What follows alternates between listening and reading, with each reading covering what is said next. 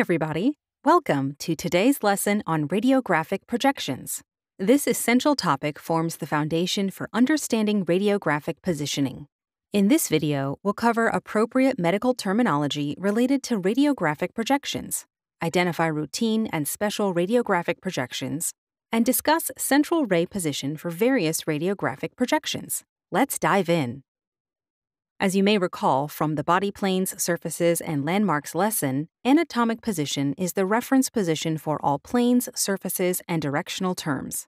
Anatomic position is an upright position with arms slightly abducted, hands by the sides, palms forward, feet slightly apart, head directed straight ahead. This is the basis for radiographic projections. Projection is defined as the path of the central ray as it exits the tube and passes through the patient into the IR. The majority of projections are determined by entrance and exit points based on anatomic position. For example, if the central ray enters anywhere on the front, anterior surface of the body and exits the back, posterior surface, an AP projection is obtained, regardless of body position. Additionally, projections can be described based on the interaction between the central ray and the body as it traverses the entire body or a specific part, such as axial or tangential. Radiographic examinations are typically labeled based on their projection. Common radiographic projections include anteroposterior, or AP, posteroanterior, or PA, lateral, AP oblique, PA oblique, axial, AP axial, PA axial, AP axial oblique, and PA axial oblique.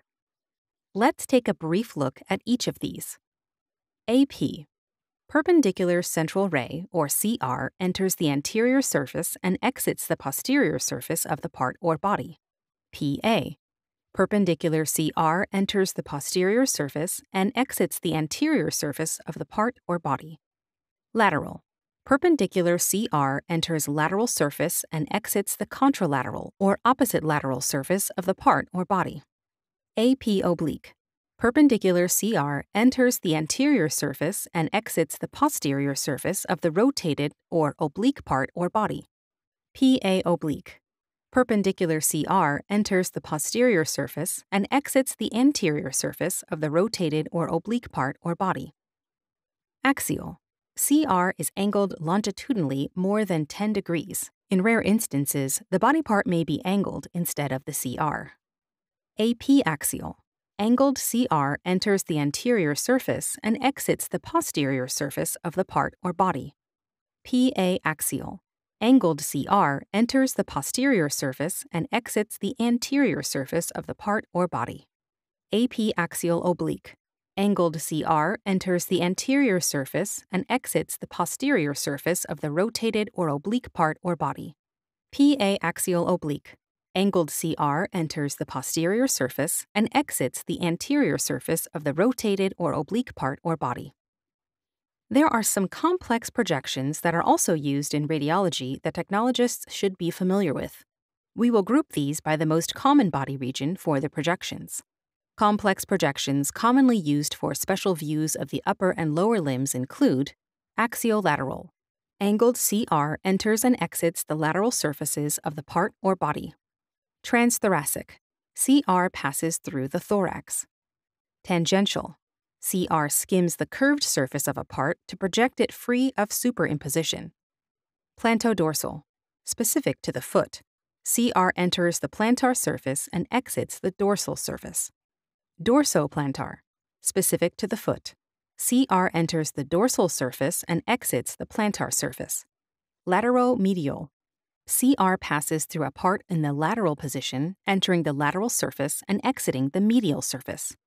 And mediolateral.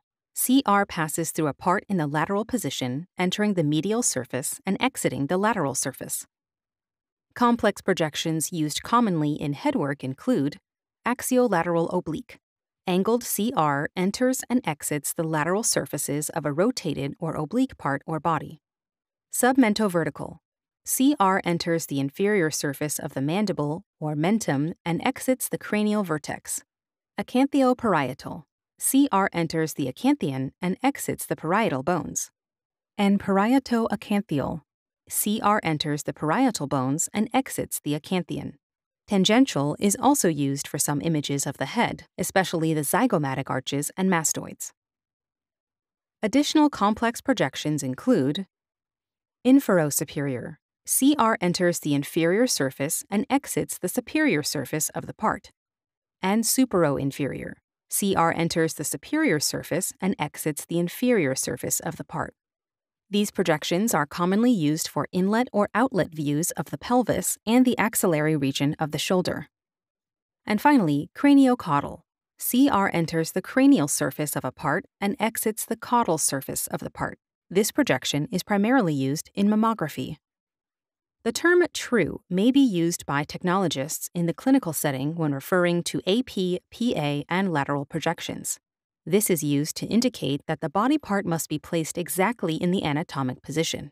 A true AP or PA projection is obtained when the central ray is perpendicular to the coronal plane and parallel to the sagittal plane. A true lateral projection is obtained when the central ray is parallel to the coronal plane and perpendicular to the sagittal plane. So, in summary, radiographic exams are typically labeled based on their projection.